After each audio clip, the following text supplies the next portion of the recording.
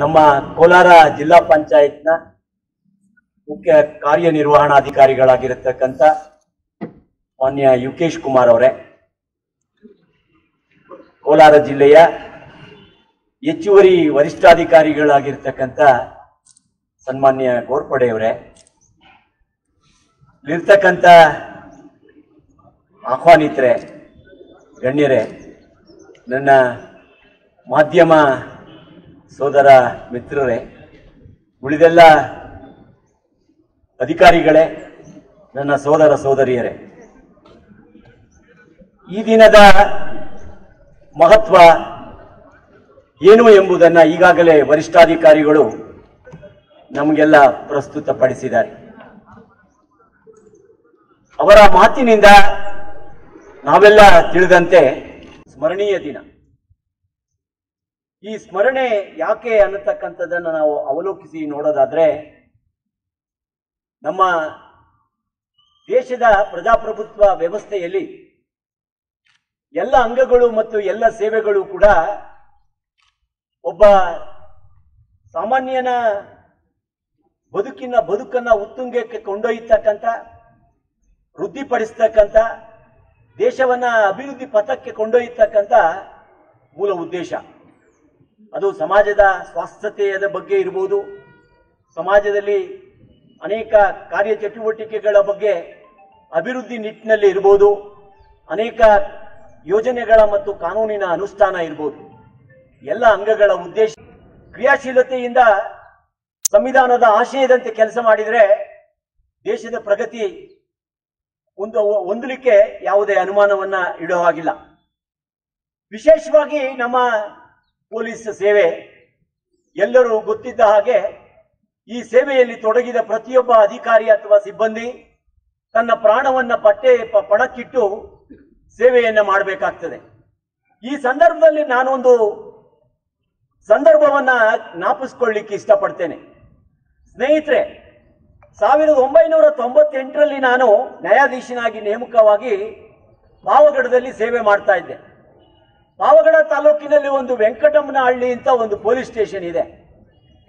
ಆ ಪೊಲೀಸ್ ಸ್ಟೇಷನ್ಗೆ ಅಲ್ಲಿ ನಕ್ಸಲ್ ಏರಿಯಾ, ಪೊಲೀಸ್ ಸ್ಟೇಷನ್ ಅನ್ನ ಬೀಗ ಹಾಕಿ ಹನ್ನೊಂದು ಜನ ಪೊಲೀಸರನ್ನ ಜೀವ ಸಹಿತ ಸುಟ್ಟಾಕಿಬಿಟ್ರು. ಅದು ನನ್ನ ಕಣ್ಮುಂದೆ ನಡೆತಕ್ಕಂತ ಒಂದು ಘಟನೆ.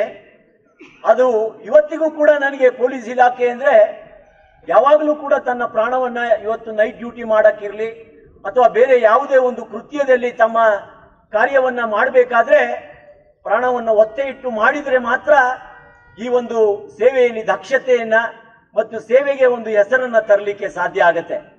ಕಾಟಾಚಾರದ ಕರ್ತವ್ಯವನ್ನ ಮಾಡಿದ್ರೆ ನಮ್ಮ ಮನಸ್ಸಿಗೂ ತೃಪ್ತಿ ಇರೋಲ್ಲ, ಸೇವೆಯಲ್ಲಿಯೂ ಕೂಡ ನಾವು ಏನು ಸಾಧನೆ ಮಾಡೋಕ್ಕಾಗೋಲ್ಲ, ದೇಶದ ಒಂದು ಅಭಿವೃದ್ಧಿ ಪಥಕ್ಕೂ ಕೂಡ ನಮ್ಮ ಒಂದು ಸೇವೆಯಿಂದ ಕಾಣಿಕೆ ಆಗೋಲ್ಲ.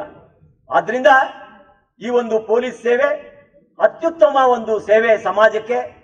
ಆದರೂ ಕೂಡ ಈ ಒಂದು ಕಾರ್ಯಕ್ರಮ ಹುತಾತ್ಮರನ್ನ ಸ್ಮರಿಸ್ತಕ್ಕಂಥದ್ದು ಇನ್ನೂ ಹೆಚ್ಚಿನ ಪ್ರಮಾಣದಲ್ಲಿ ಸಾರ್ವಜನಿಕರು ಭಾಗವಹಿಸುವುದ್ರ ಮೂಲಕ ಆಗಬೇಕಾಗತ್ತೆ.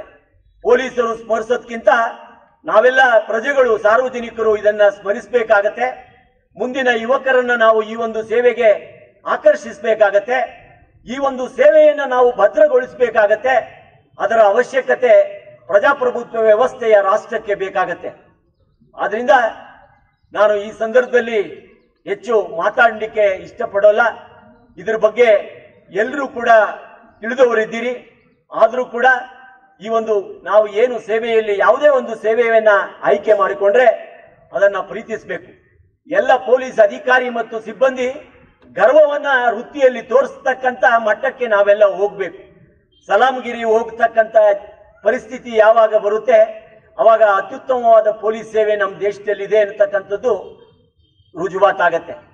ಆದ್ರಿಂದ ನಾವೆಲ್ಲ ಇದು ನೀವೆಲ್ಲ ನಾವೆಲ್ಲ ಸೇವೆಯಲ್ಲಿ ಯಾರು ತೊಡ್ಕೊಂಡಿದ್ದೀವಿ, ಈ ಒಂದು ಸೇವೆಯನ್ನು ತುಂಬಾ ಪ್ರೀತಿ ಮಾಡಿ, ಗರ್ವದಿಂದ ಸೇವೆಯನ್ನು ಮೆರೆಸಿ, ಈ ಸೇ ಆ ರೀತಿ ಮಾಡೋದ್ರಿಂದ ನಮ್ಮ ಪ್ರಜಾಪ್ರಭುತ್ವ ವ್ಯವಸ್ಥೆಯ ರಾಷ್ಟ್ರ ಅತ್ಯುನ್ನತ ಮಟ್ಟಕ್ಕೆ ಕೊಂಡೊಯ್ಯುತ್ತೆ.